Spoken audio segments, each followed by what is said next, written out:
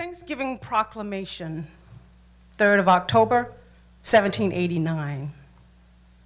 By the President of the United States of America, a proclamation.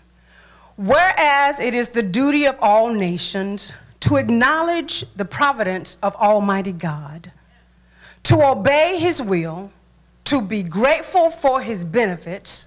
and humbly to implore His protection and favor. And whereas both houses of Congress have, by their joint committees, requested me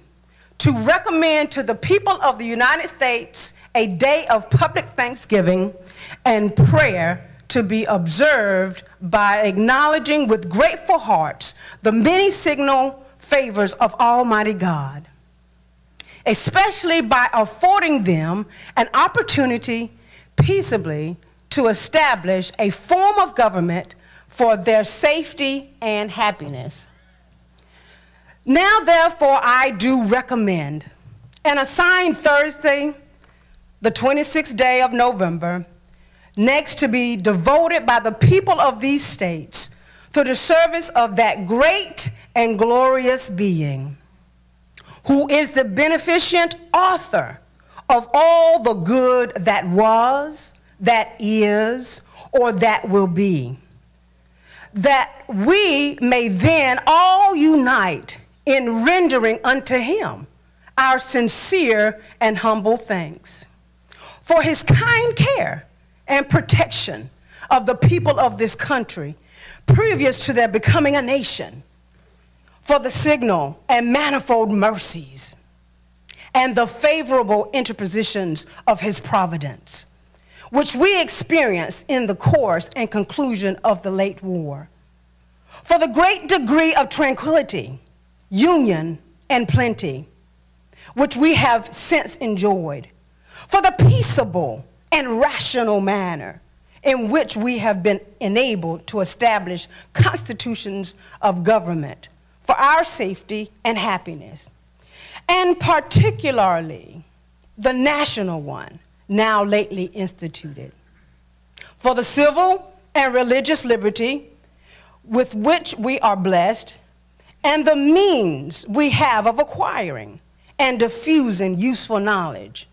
and in general, for all the great and various favors which he has, he has been pleased to confer upon us. And also, that we may then unite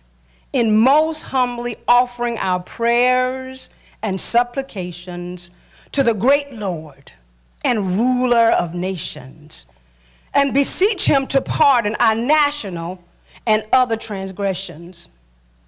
to enable us all, whether in public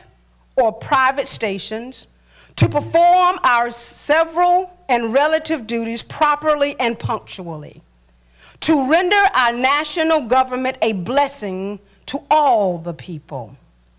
By constantly being a government of wise, just, and constitutional laws, discreetly and faithfully executed and obeyed, to protect and guide all sovereigns and nations,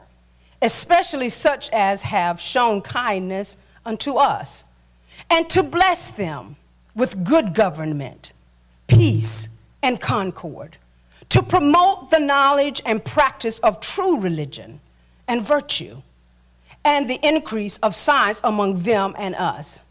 and generally to grant unto all mankind such a degree of temporal prosperity as he alone knows to be best. Given under my hand at the city of New York, the third day of October, in the year of our Lord, 1789. George Washington.